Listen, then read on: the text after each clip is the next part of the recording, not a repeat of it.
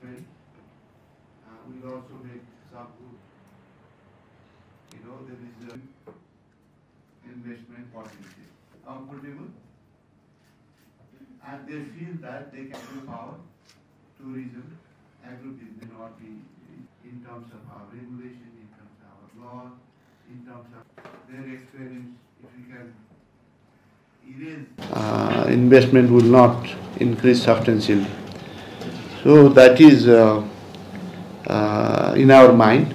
That is why what we are focusing is during this four month, we'll focus on whatever obstacles that we have in terms of laws, in terms of regulation, in terms of our attitude, uh, you know, in terms of our day-to-day, you know, uh, you know, approach towards uh, private investors, those who are confronting day-to-day basis. So we are working uh, to remove uh, those obstacles so that in coming April we can say that these are the things we already uh, made a difference. So that is what, what we wanted to do, but it's not easy job. I should confess. It's hard job, but I, I guess we'll make progress. I will not say, you know, there will be sea change, but we'll make a uh, progress uh, in terms of laws regarding this, uh, you know, uh, money laundering uh, issues. The one major hurdle why they put us in a one year thing, uh, kind of thing, is because of that law. That is already in the parliament because of some technical reason that was not passed. It will be passed in this uh, winter. And then there are other things you mentioned about uh, regarding to facilitate the investment, country rating. We'll finish that before uh, before the summit. We are already in touch with uh, relevant uh, institutions. Uh, we'll do that. At the same time, you talk about offshore, you know, uh, issues. Uh, we will come up. We are already discussing with the ADB.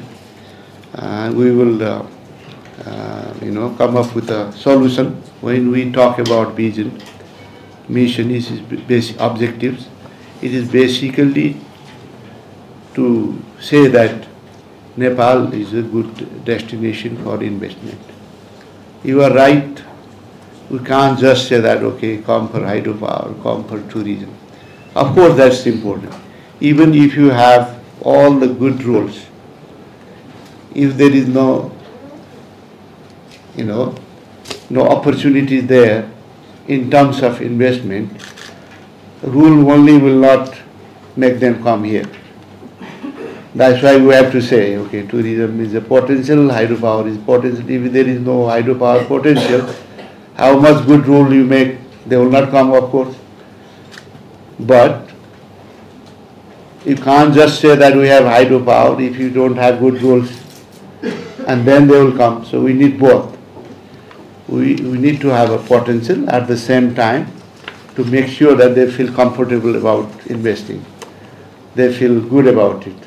So that is important.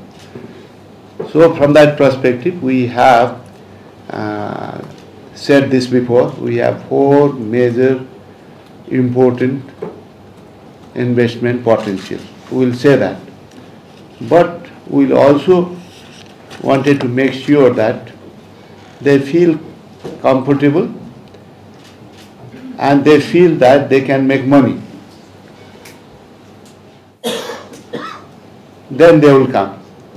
So that's why I think we say hydropower, tourism, agribusiness, IT. IT is also a very important sector and uh, younger are in it. So these are four major areas of investment opportunity but at the same time as I think from representation from UNDP mentioned, SMEs, small investors uh, investing in small businesses, uh, so south to south, and they know, you know, uh, it may not be, it is not for big investors, but for the smaller investor, uh, there is also big opportunity.